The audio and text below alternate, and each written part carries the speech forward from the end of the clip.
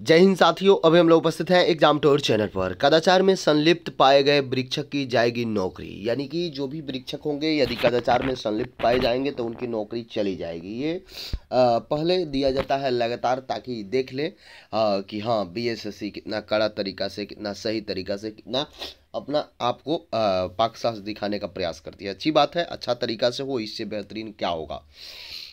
BSSC Abhishek Kumar. Patna Bihar कर्मचारी चयन आयोग की आयोग ने कदाचार मुक्त मुक्त तृतीय स्नातक स्तरीय प्रारंभिक परीक्षा के लिए सख्त कदम उठाए हैं। कदम क्या क्या उठाए हैं देख लें।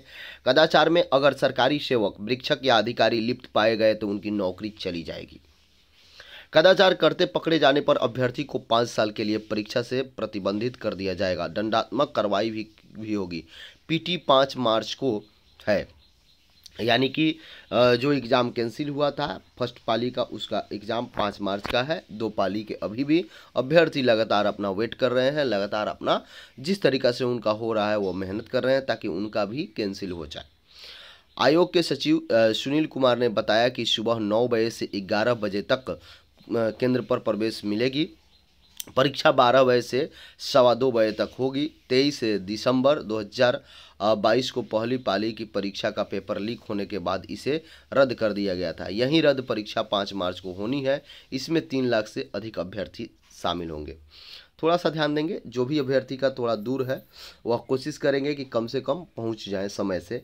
नौ बजे से ग्यारह बजे तक ही आपका एंट्री मिलेगा जिस तरीका से बीपीएससी एग्ज़ाम लिया गया ठीक उसी तरीका से। आ, एक शिफ्ट में एग्ज़ाम है इसलिए आपको बारह बजे से एग्ज़ाम चालू होगा दो बजे तक। ये बात को ध्यान में देंगे।